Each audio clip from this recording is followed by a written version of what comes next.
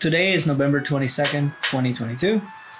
I have unboxed a controller for one of my favorite drones, Skydio 2. And I want to change how the Skydio 2 works.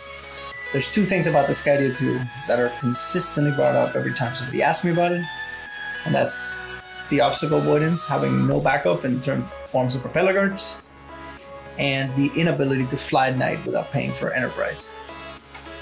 And I'm gonna fix both. And I'm, and gonna, I'm gonna, fix, fix both.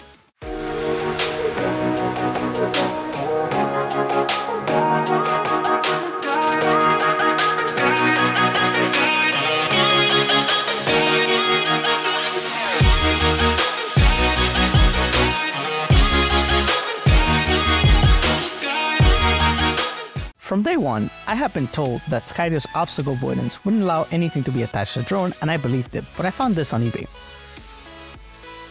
It's a very basic camera protector, and its design shows that there's an area around components like the motors, propellers, and cameras, but the obstacle avoidance system is pretty lenient. I wanted this project to have three goals. 1. Not interfere with the obstacle avoidance. 2. Choose a color that improves the contrast-based obstacle avoidance. And third of all, allow the drone to fly at night all of it for cheap. I did notice that the design used by the camera guard wrapped around the area around the motors and did not go past the top of the sensor, so I tried to build my own and that worked perfectly and quickly the first time. I was so stunned that I moved on to the propeller guards and that also worked perfectly the first time.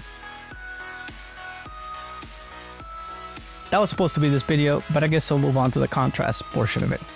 It actually seemed pretty easy. Just pick a color that will improve that the Skydio 2 has issues detecting and because power lines are black and because I'm in Florida, I choose white. And I thought I was a genius. Nothing is naturally white in the environment around Florida and there's no reason to think that snow is real.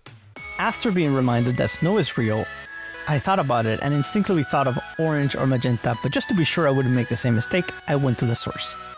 The Skydio YouTube page to see where the drones are used. I downloaded and extracted a whole bunch of frames from a whole bunch of videos, crunched the palette from each frame, and created a color that has the average best color against every frame.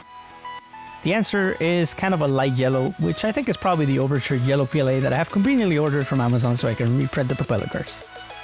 Honestly, this was supposed to be a three-part video, but it went too well. So if you subscribe, the next time you see this video title, you'll be seeing the obstacle avoidance and night flight testing. Thank you for watching my content, and thank you for sticking around. Have a nice day.